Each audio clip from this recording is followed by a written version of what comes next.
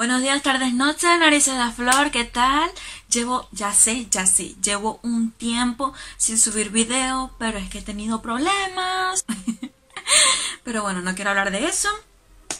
Así que vamos a ir con el nuevo video de hoy. Habrán visto ya que hace unos días, literalmente días, no semanas, días, publiqué esto para que se soltaran con esas preguntas hacia personas rellenas, gordas, sin sentirse que están ofendiendo ni nada, porque, o sea, voy a responderlo con total sinceridad desde mi punto de vista, porque estemos claros, yo tengo sobrepeso. Unos dirán, ay, sí, por eso ya lo sabíamos. Y otros dirán, ay, pero si no se nota. Esa va a ser una de las preguntas que voy a responder para que vean cómo sí es posible verse bien y fabulosa teniendo sobrepeso, que no hay ningún problema. Vamos con una de las preguntas que me hicieron. ¿Estás a gusto así o te da miedo o pereza cambiar? Bueno, a ver, de estar a gusto, estoy a gusto porque yo, sinceramente, yo a mí misma, no me veo un problema cuánto pese qué tan voluptuosa sea en algunas circunstancias. Por ejemplo, si yo veo en una tienda un vestido que le queda precioso al maniquí, yo me lo pruebo. Puede que me quede bien, puede que no me quede bien en algunos aspectos de mi cuerpo, pero puedo comprarme otra cosa. En este punto de mi vida, puedo decir que me siento bien así. Puede que hace tres meses pueda también sentirme bien conmigo misma. Y puede que dentro de unos meses también me sienta bien conmigo misma. Porque, o sea, para mí yo me gusto tal como soy. Puede que algunas cosas sí las quiera cambiar, pero no, no quiere decir que no me guste ahora mismo. De darme pereza, pues yo consideraría que no, porque si me dijera vamos a caminar todos los días, o si yo tuviese un trabajo que consiste en caminar todos los días, pues entonces yo no le pongo pegas, porque además si estoy haciendo algo que me gusta, caminando, y eso acarrea a la larga que yo baje de peso, pues entonces mejor ¿no? Y bueno, soy camarera, así que caminar camino. Siguiente pregunta. ¿Por qué no haces ejercicio? ¿Por qué no haces ejercicio? Eh, eso no es tu problema. Hay personas que están muy ocupadas en su día a día. Y aunque digan, ay, voy a tener vida social, voy a estudiar todo y voy a sacar la mayor nota, voy a satisfacer a mi pareja, voy a meterme al gimnasio. A ver, seamos claros, una de esas cosas o más de una vas a descuidar y no te va a dar tiempo sobre todo ir al gimnasio. Hay otras maneras de bajar de peso que no sea solamente yendo al gimnasio. Y hay personas, como yo, que tratan de incluir la caminata en su día a día para intentar mantenerse a raya o es que no tienen opción. En estos momentos, tomando de mi propio ejemplo, yo no tengo ganas de hacer ejercicio. Me da una flojera en estos tiempos de la vida. Porque hay momentos en el que como que te aburres, lo ves un poco monótono y lo dejas. Hasta que un día viene la inspiración, vienen las ganas y comienzas de nuevo. Porque cabe resaltar de que yo era gimnasta, bailarina y nadadora. De poder, puedo hacer ejercicio, pero es que en estos momentos no quiero. Cuando me den ganas otra vez, lo hago, pero no porque quiero ser, quiero ser delgada de nuevo, no. Porque quiero, porque me nace del corazón. Y además con liberar tanta serotonina es mejor para el cuerpo. Yo lo haría por la serotonina, no por bajar de peso. Yo, yo. ¿Cómo haces para cortarte las uñas de los pies? bueno, hay varias opciones. Por ejemplo, uno puede perfectamente ir a un centro donde te hagan la manicure y la pedicure. bueno, todo eso la gente le dice pedicura o pedicure. Yo le digo pedicure porque, porque sí. Entonces, o vas a esos centros a que te corten las uñas o agarras elasticidad para hacerlo tú mismo. A mí me cuesta un poco en un pie, la verdad. no voy a, voy a ser sincera. En este pie me cuesta porque, o sea, puedo llegar, de verdad, de verdad, llego. Pero en el otro pie me cuesta. O sea, como que no tengo la misma elasticidad en este pie que en este, porque, o sea, aquí llego aquí y aquí no llego casi, o sea, como que no puedo. no puedo. Entonces, o las corto mal de un pie porque no llego, o voy a una pediculista para que me deje todo prolijo, pero simplemente es eso.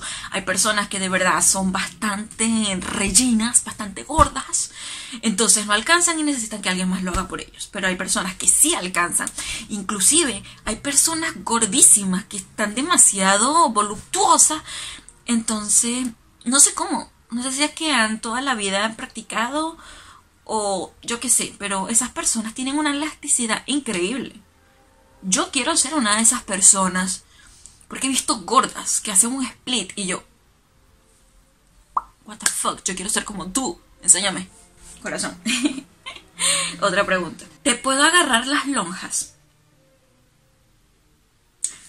A ver, hay personas que se sienten cómodas que las toqueteen por ejemplo, abrazo, yo qué sé, que le agarren los cachetes. Hay personas que no les gusta que les agarren las mejillas, cachetes, mufletes, como quieran llamarle. Yo le llamo cachetes.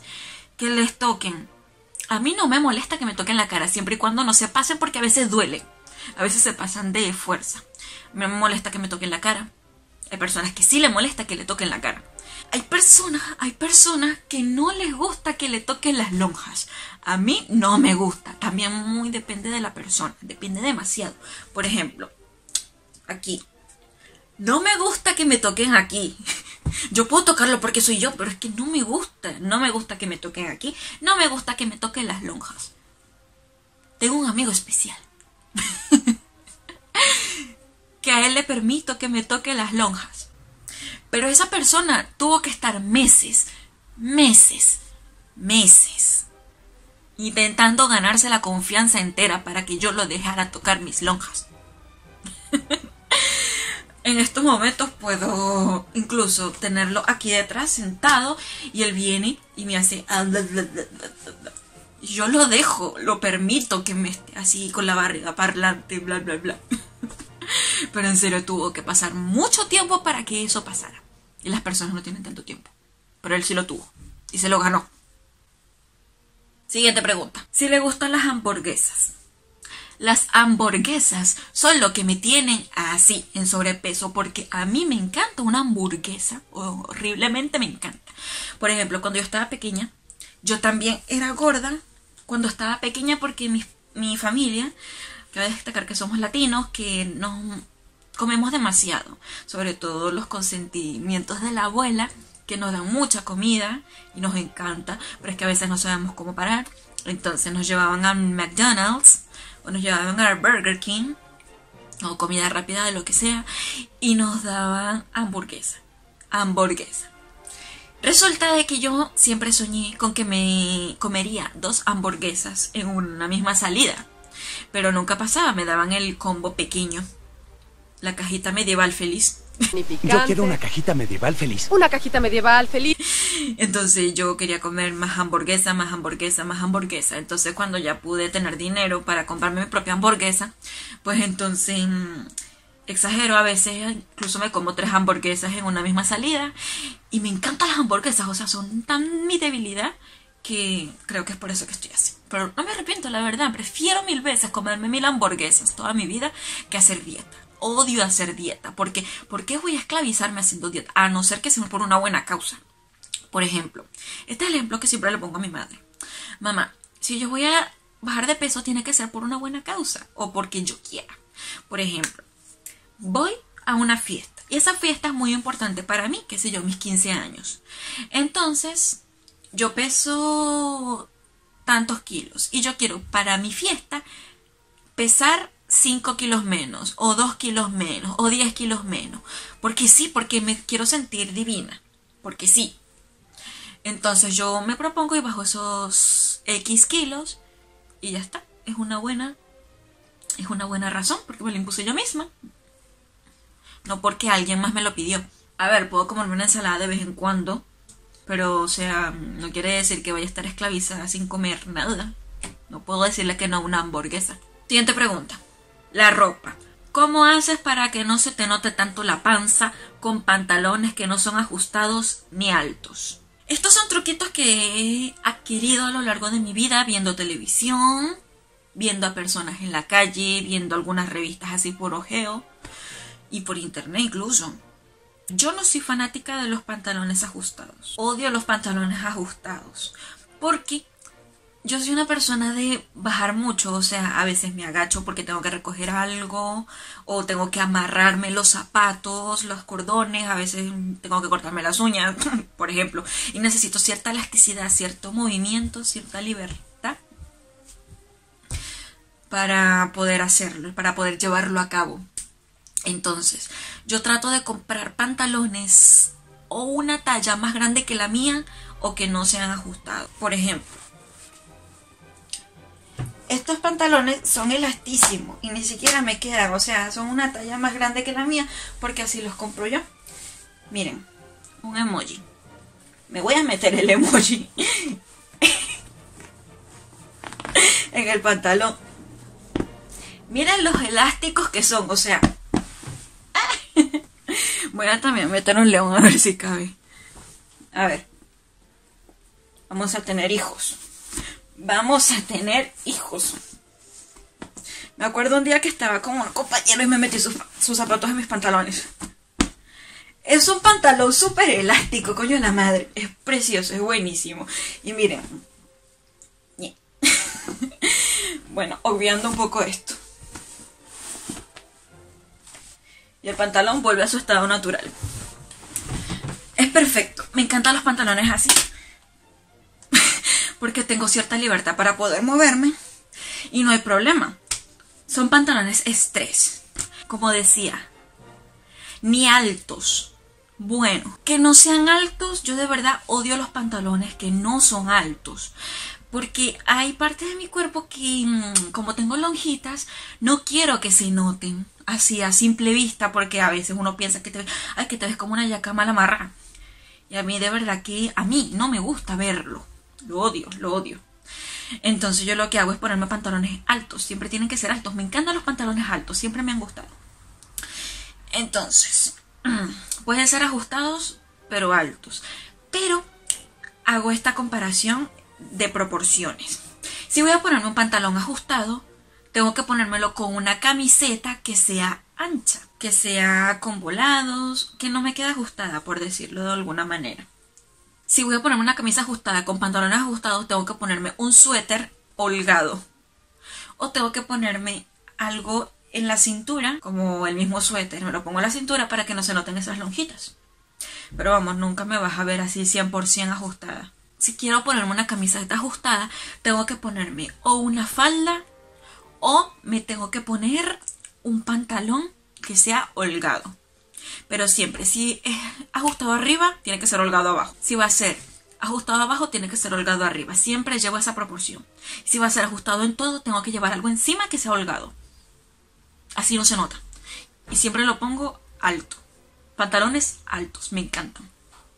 Como que me hacen una figurita. Me encanta cómo se ve, o sea, deberían intentarlo, me encanta.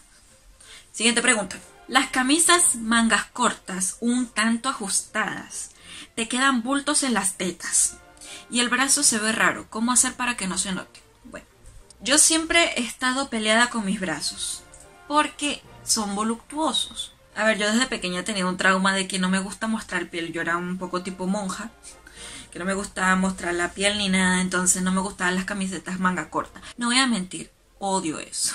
Odio llevar camisetas que sean ajustadas y que se me vean los brazos y ese bulto aquí y aquí. De verdad que lo odio, lo odio. Por eso trato de evitar las camisetas que me quedan súper ajustadas en esas partes. Por eso es que trato de comprarlas una talla un poco más grande para que eso compense. Y además me quedo holgada un poquito para que así se vea bien. O directamente las remiendo en mi casa. O me pongo un suéter encima. Ya está. Todo se arregla con un suéter, me encantan. Siguiente pregunta. Medias, panties tipo anime con esos rollitos de las medias. a ver, a mí me encanta, me encanta, me encanta usar shirts con este tipo de medias tipo anime. Me siento tan linda, me siento preciosa. Y de verdad que yo tengo unas piernas bastante mm, Y sí, molesta bastante, molesta ver este tipo de rollitos que se te hacen porque la media tú te la subes completamente, pero en un momento va enrollándose hacia abajo, como que se va cayendo, entonces uno como que no, tengo que subirla, entonces tienes que estar cada tres segundos subiendo, subiendo, subiendo. Entonces molesta. Hasta que terminas rindiéndote y te queda eh, abajo de la rodilla y uno como que, bueno, voy a morir con esto, ya me rindo, ya vamos para el siguiente día. Coño, sinceramente me encanta cómo se ve una chica, sobre todo si está gorda. Ese tipo de medias, o sea, que o sea, se ve tan sexy. Me encanta. Se ve bien en chicas delgadas, la verdad. Me encanta también cómo se ven, pero es que los prefiero en unas piernas que estén más rellenas, porque, o sea, provoca es agarrarla y hacerle así. Ok, ya paro porque esto es un, sueño muy eh, húmedo para, para este video. Siguiente pregunta. ¿Levantas más culos? ¿Levantas más culos? ¿Delgada o gorda? Yo nunca he sido delgada, delgadísima, porque hay un límite de persona, depende de su estructura ósea. Que sí existen los huesos gordos o la genética también, porque en mi familia hay personas que son flaquitas, pero es que hay personas también que son gordas y no pueden bajar más de peso de un de uno en específico que puede llegar esta persona. Entonces, yo he pasado por las dos. He estado lo más flaquita posible que he podido estar y he estado lo más gorda posible que he podido estar. Que no pasa de 80 kilos, créanme, he llegado a los 80 kilos. Resulta que no tiene nada que ver tu peso con que levantes culos o no levantes culos. A ver, levantar culos significa que, que las personas quieren acercarte a ti con las intenciones de enamorarte o que llamas bastante la atención. El peso no tiene nada que ver. Es depende de cómo te sientas tú, tu autoestima en ese momento. Porque, por ejemplo, yo puedo estar muy flaquita y sentirme mal, no me gusta cómo me veo, ando con una actitud de mierda. Entonces estas personas no van a querer acercarse a mí puedo estar muy buena con unas tetas, con un culo, con una cinturita, pero si mi actitud no es la correcta, esas personas no van a querer acercarse a mí, no van a querer nada conmigo. Entonces, siéntate como diva. En cambio, si yo soy una gorra, XXL por decirte algo. Entonces tengo una actitud de que me gusto yo misma. Digo, Dios mío, es que me veo súper bien con esta ropa, que me voy a planchar el pelo, o me lo voy a rizar, o me lo voy a cortar, o me lo voy a pintar, o yo qué sé. Como aquiladamente, o sea, esta chica es genial. Se siente bien consigo misma. Come más no poder, igual que. Me encantaría comer. se arregla, se viste precioso y tiene una autoestima altísima que ella misma se buscó. No es que nadie se la generó, ella misma se la buscó. Y miren esa chica que es tan atractiva.